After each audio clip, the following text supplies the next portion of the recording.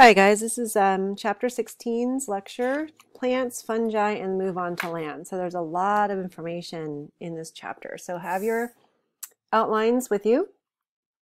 And we're going to start with plants. Um, this, however, your um, sort of intro picture is a very large truffle, which is a fungus.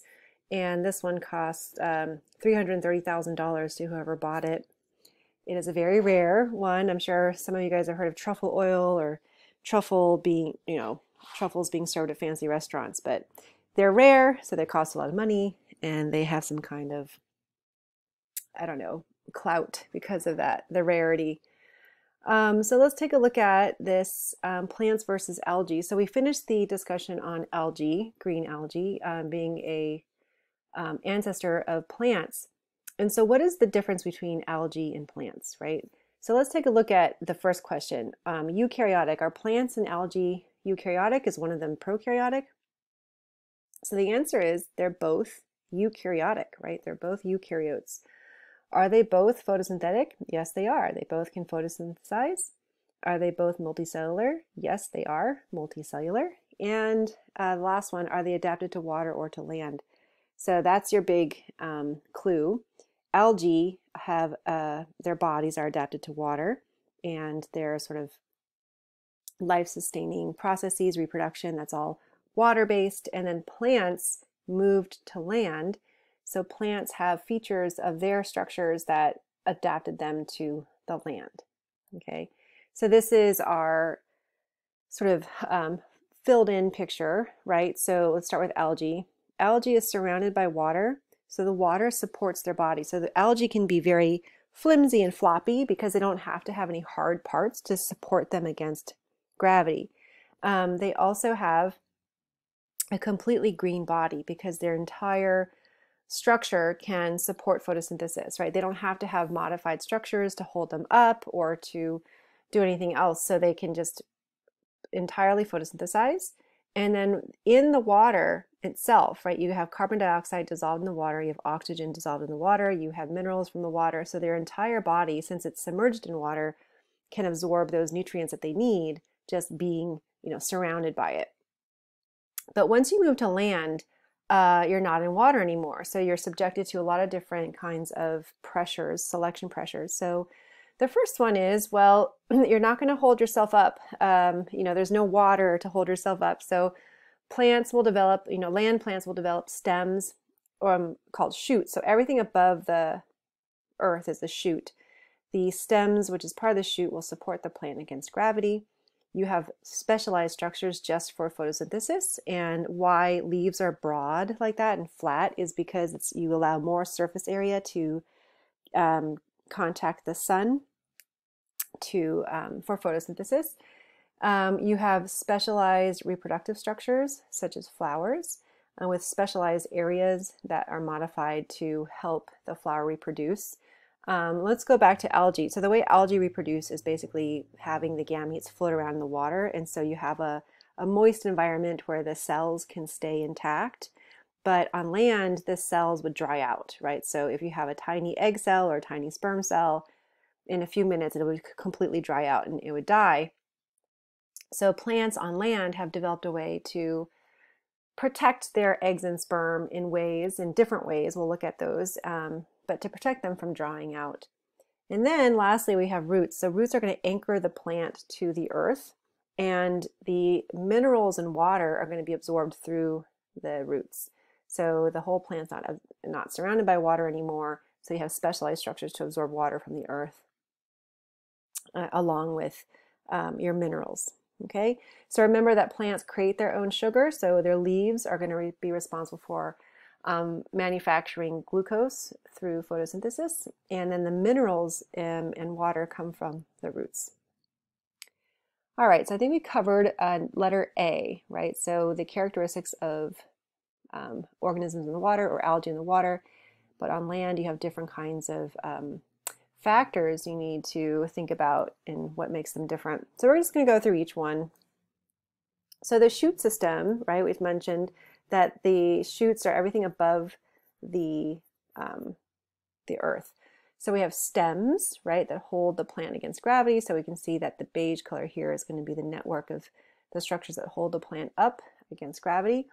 Some plants will become woody, and there's a specialized um, molecule here that helps to build the wood, especially in barks, in the bark of trees, and that would be called lignin. And then we have leaves, which are specialized for photosynthesis, right? So they're mainly uh, broad and they're usually flat and broad for the um, catching the sun rays. Um, because the nature of the leaves are flat and broad, they tend to dehydrate very quickly. So we mentioned this before in class, how the plants um, will coat their leaves with a cuticle, which is a layer of wax just on the surface that faces the sun, right? So the upper surface of the leaf, and that's to minimize water loss through dehydration, right? So we want to protect that. The bottom part of your leaf that is in the shade will be um, not waxy because the wax would basically make diffusion of oxygen and carbon dioxide really difficult. So the bottom of the leaves don't have the wax. They're going to be more dull in appearance, but they're going to have stomates. Remember, stomates are those pores for gas exchange. Now I want to show you this really cool video of um, a pore opening. Okay, actually I meant closing, but here you go. So you can see these are the guard cells that create the pore in the center, and the pore or the opening in the center is getting smaller and smaller as that stomate is closing.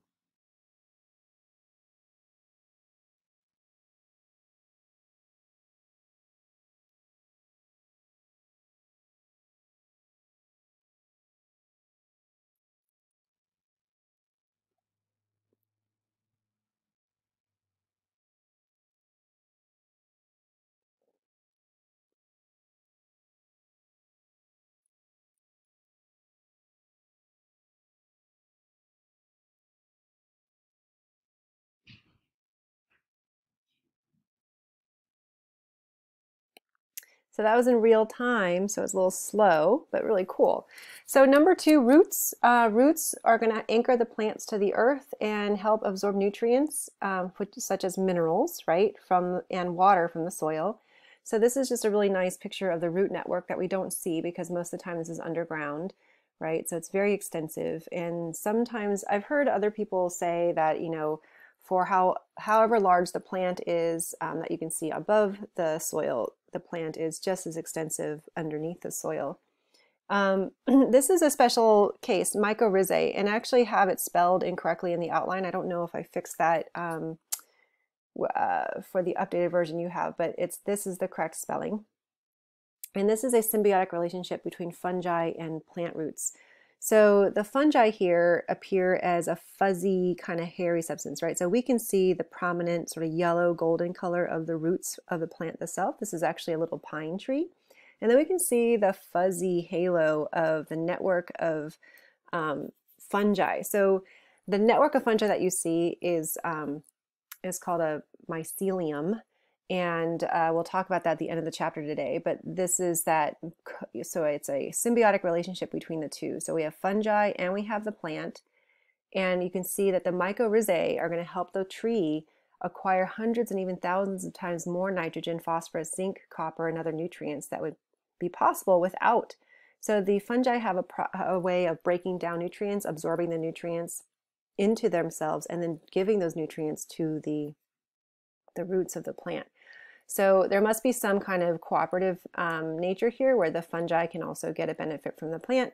Most of the time the, the plant will give um, a, a, niche um, for the fungi to survive and to live. Um, but that's a really cool symbiotic relationship there. All right, number three, vascular tissue. So the word vascular means vessels. So we talk about even animals. When we talk about our vascular system, we talk about our arteries and veins, so our blood vessels. But in plants, they don't have blood, right? They have um, different vessels that are going to transport water. They're going to transport sap or the sugary um, water that they create in their leaves. So you can see here that the blue color, right? The blue is going to indicate something called xylem. Xylem is a kind of vessel, so it's a hollow tube, and it's going to transport water and minerals from the roots to the leaves. So you can see that the arrows are going up, right? And these, the xylem tends to be dead. So the cells that create the xylem eventually die, and that tube is made of dead cells. Number two, the phylum, right? Oh, I'm sorry, the phloem. The phloem is a network of vessels, different, um, that are going to bring the substances that are made in the upper part of the plants, so namely the sugars that are made in the leaves, are going to be transported to all different parts of the plant. Because remember, the leaves specialize for photosynthesis, so the green parts of the plants will photosynthesize. The sugar is created there, but then every single part of the plant needs sugar to burn to make fuel, right, to make ATP. So the phloem is going to go down into the roots, but it also goes up into the upper parts of the plant so the phloem is more of a two-way network, but if you want to think in, in general terms, right, uh, really the, the leaves are at the top of the plant and phloem generally moves that sugar down. So you can think about it as like xylem up and flow flowing down, right? The phloem goes down. But um, I have the word living there because the phloem is made of cells that are still alive. All right, so letter B in your outline the vascular tissue allows the plants to grow larger because the plant has a way to distribute water and sugar throughout its body. So this is a really key term in terms of why or how plants can grow larger. If you are a tiny, tiny plant like a moss, right, then the, your entire body is close to the ground and it's going to if it's moist you know the entire body can absorb that water because you're such a small little plant and you live in these moist habitats. But as soon as you develop a network of tubes this vascular system that can transport water around your body then you can get bigger. Then these plants will grow bigger because they have the ability to move that water from their roots up to the upper part of the plant so having vascular tissue is key in larger plants being able to evolve. You're not tied to the surface of the earth where there might be some water. And then letter C, let me just show you this. So the vascular bundle here that you see, the phloem and the xylem, they travel together. Just like in animals, we have arteries and veins that travel together.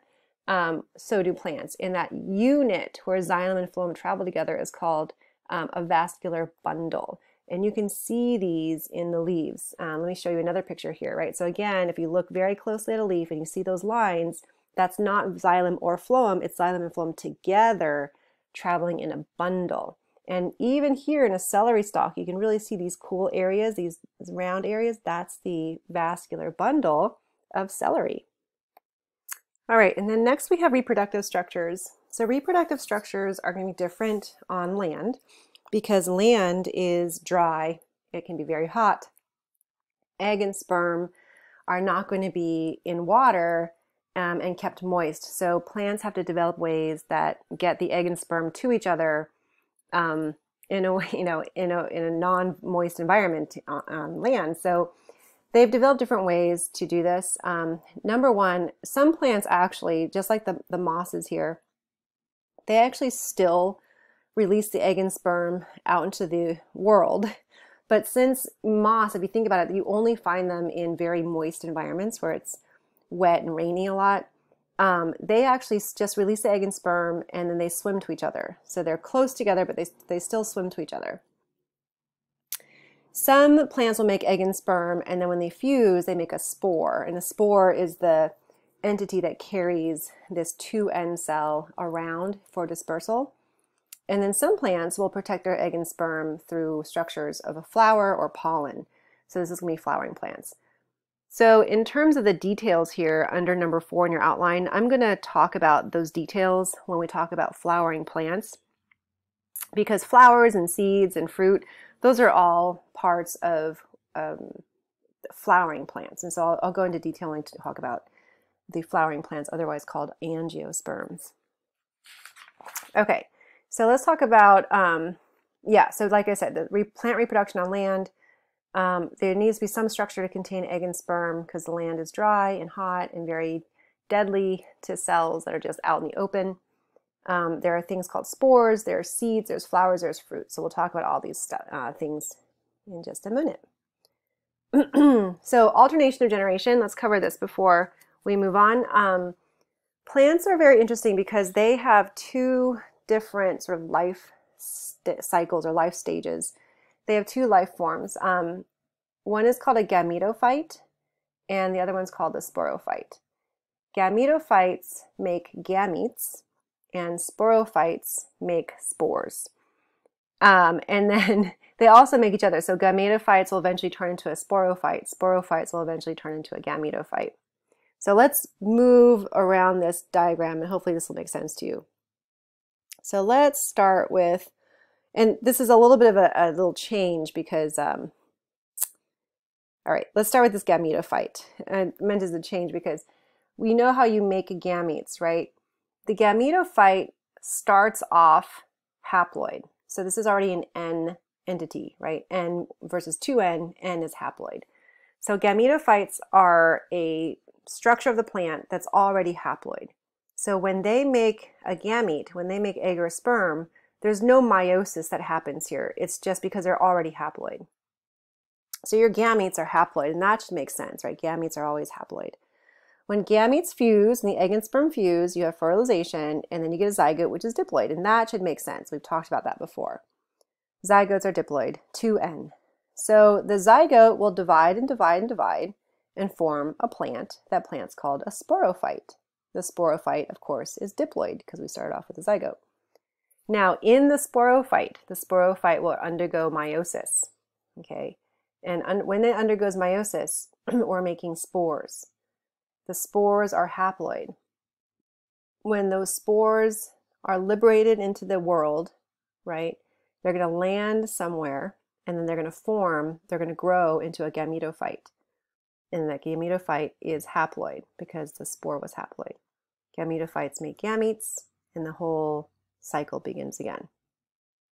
So, gametophytes make gametes, sporophytes make spores, you just have to remember here that the spore is going to be haploid. And the sporophyte that makes the spores, in order to go from 2N to N, right, we have meiosis happening here.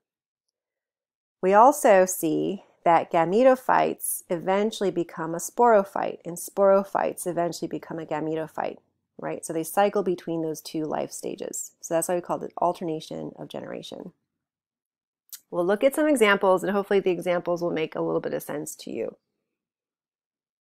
All right, so before we move on, just remember that the ancestor to all plants is our green algae. And the green algae that exists today, which is this guy here, a charophyte, is thought to be probably the most similar to the ancestral plant. All right, so we're going to pause here, I think.